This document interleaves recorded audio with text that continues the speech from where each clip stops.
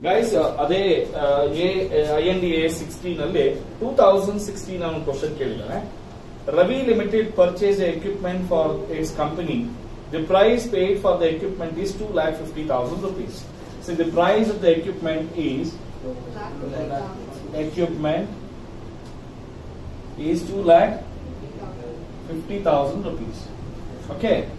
Inclusive of value added tax of rupees 60,000. 60,000 rupees include ಆಗಿದೆಯಂತೆ inclusive of value added tax ಈ ಎರಡು ಲಕ್ಷದ ಐವತ್ತು ಸಾವಿರದಲ್ಲಿ ಏನ್ ಇನ್ಕ್ಲೂಡ್ ಆಗಿದೆ? ವ್ಯಾಲ್ಯೂ ಆಡೆಡ್ ಟ್ಯಾಕ್ಸ್ ಇನ್ಕ್ಲೂಡ್ ಆಗಿದೆ. ದಯವಿಟ್ಟು ಈ ಕ್ವಶನ್ ತುಂಬಾ ಇಂಟೆಲಿಜೆಂಟ್ ಕ್ವಶನ್ ಓಕೆನಾ the entity gets a credit of VAT while calculating tax payable on the finish goods sold so finish good sale ಮಾಡಬೇಕಾದ್ರೆ ಅವನೇನು ಅರವತ್ ಸಾವಿರ ರೂಪಾಯಿ ವ್ಯಾಟ್ ಕಟ್ಟಿದ್ದ I mean G S T ಕಟ್ಟಿದ್ದ ಆ ಜಿ ಎಸ್ ಟಿ ವಾಪಸ್ ಬರುತ್ತಂತೆ. ವಾಪಸ್ ಬರುತ್ತೆ. ಫಸ್ಟ್ ಪೇಮೆಂಟ್ ಮಾಡಿದಾನೆ ಆಮೇಲೆ ವಾಪಸ್ ಬರುತ್ತೆ. ಹೌದಾ?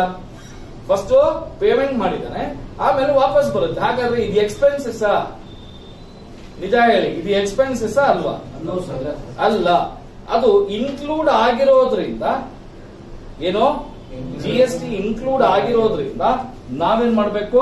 ಮೈನಸ್ ಮಾಡ್ಬೇಕಾಗುತ್ತೆ.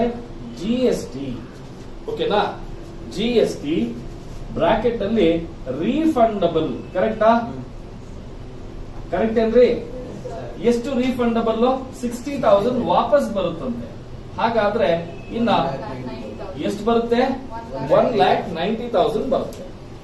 ಇದಕ್ಕೆ ಏನೇನ್ ಆಡ್ ಮಾಡಬೇಕು ಅನ್ನೋದನ್ನ ನೋಡೋಣ. ಫಸ್ಟ್ ಫ್ರೈಟ್ ಟೆನ್ ತೌಸಂಡ್ ಮತ್ತೆ customs ten thousand ten thousand ಅಲ್ಲ ಅದು eight thousand next installation expenses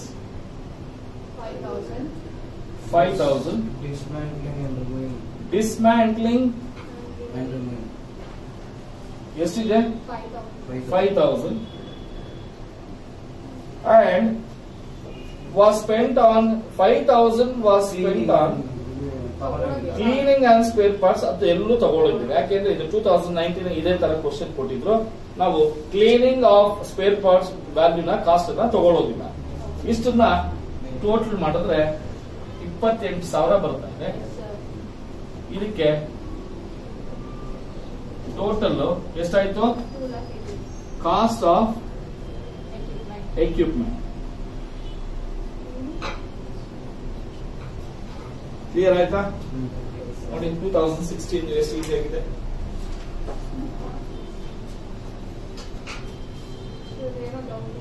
ಹಾ ಕೇಳಿ ಡೌಟ್ ಏನಿದೆ? ಏನಮ್ಮ?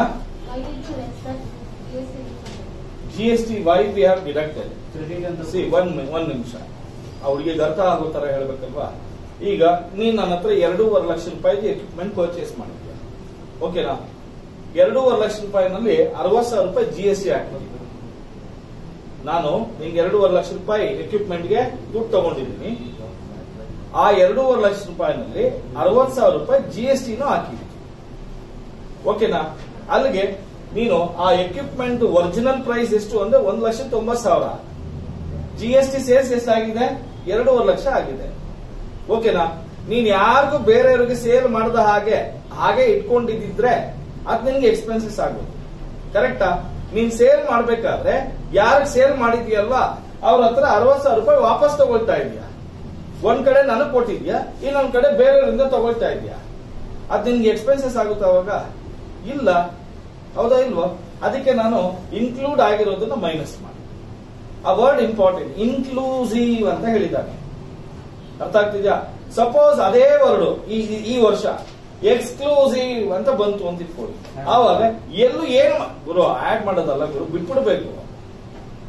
ಅರ್ಥ ಆಗ್ತಿದ್ಯಾ? ಎಕ್ಸ್ಕ್ಲೂಸಿವ್ ಅಂತ ಹೇಳಿದಾಗ ಜಿ ಎಸ್ ಟಿ ಪಾಯಿಂಟ್ ಅನ್ನೇ ತೋರಿಸ್ಬೇಡಿ. ಅರ್ಥ ಆಗ್ತಿದ್ಯಾ? ಮೊದಲನೇ ಪಾಯಿಂಟ್ ಎರಡನೇ ಪಾಯಿಂಟ್ ಅಲ್ಲಿ ಎಂಟಿಟಿ ಗೆಟ್ಸ್ ಕ್ರೆಡಿಟ್ ಅಂತ ಹೇಳಿದಾಗ ಓಕೆನಾ ಕ್ರೆಡಿಟ್ ಅಂತ ಕೊಟ್ಟಾಗ ಬಿಟ್ಬಿಡೋಣ. No credit for G S T ಅಂದಾಗ ಮಾತ್ರ ಆಡ್ ಮಾಡಬೇಕಾಗುತ್ತೆ. ಎಕ್ಸ್ಕ್ಲೂಸಿವ್ ಅಂತ ಕೊಟ್ಟು ನೋ ಕ್ರೆಡಿಟ್ ಅರ್ಥ ಆಗ್ತಿದ್ಯಾ?